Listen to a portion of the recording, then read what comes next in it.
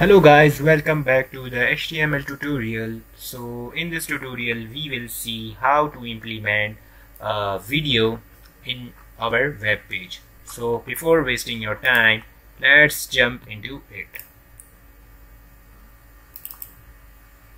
So that's the content of our video. So I have opened my Visual Studio.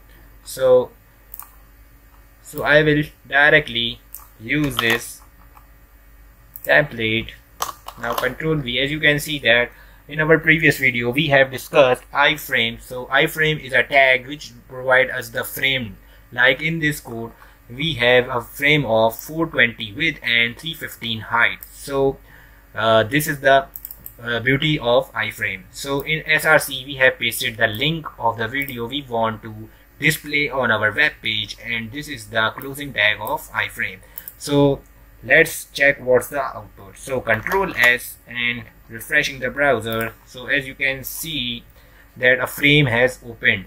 A 420 width and 315 height frame has opened and a very beautiful video has displayed on our web page.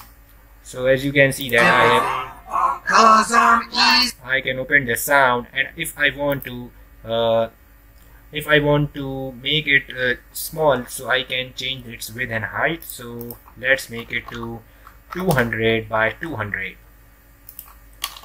200 by 200 control S and refreshing the browser. Let's check out the result. So as you can see it's a 200 by 200 and a very beautiful video is displaying on our web page. So Hope that you understand how to implement a video on your web page. So thank you for watching.